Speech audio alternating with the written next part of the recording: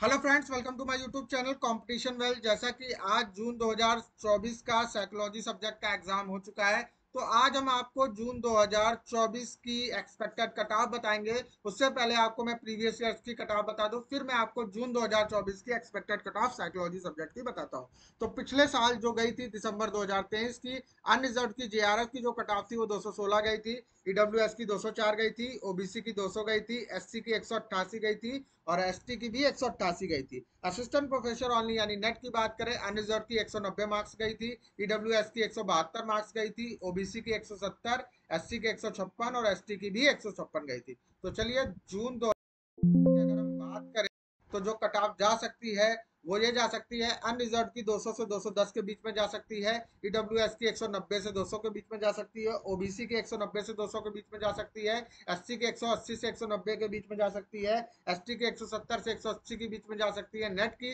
180 से 90 के बीच में जा सकती है अनरिजर्व की ईडब्ल्यूएस की 160 से 170 के बीच में जा सकती है ओबीसी की 160 से 170 के बीच में जा सकती है एससी की 140 से 150 के बीच में जा सकती है और एसटी की 140 से 150 के बीच में जा सकती है। और इसी तरीके की वीडियो और जानने के लिए हमारे चैनल कॉम्पिटिशन वेल को लाइक करें सब्सक्राइब करें और शेयर करें और बेल आइकन दबाना ना भूलें। Thank you